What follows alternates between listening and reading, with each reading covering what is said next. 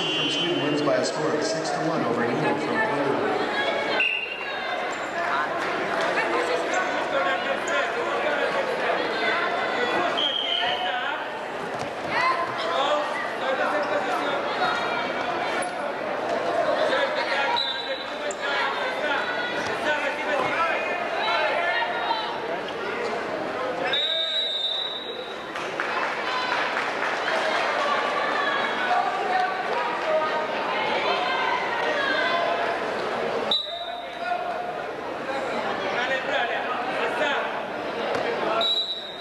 To start another semifinal here on mat B.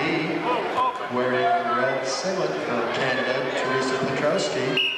And also from Canada, but in the blue singlet, Terry McNutt.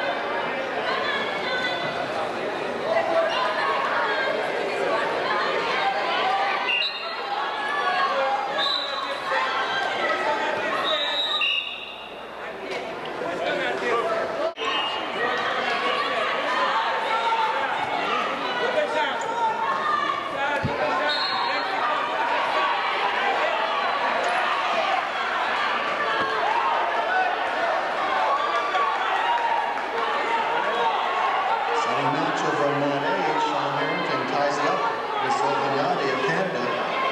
Tied at 6 to come down to the final 30 seconds.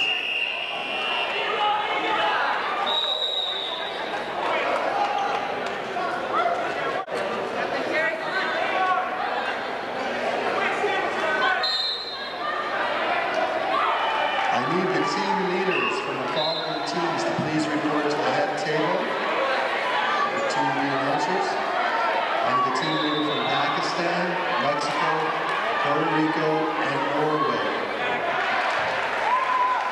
So when we get a chance for the team leaders from Pakistan, Mexico, Puerto Rico, or Norway, please report to the head table.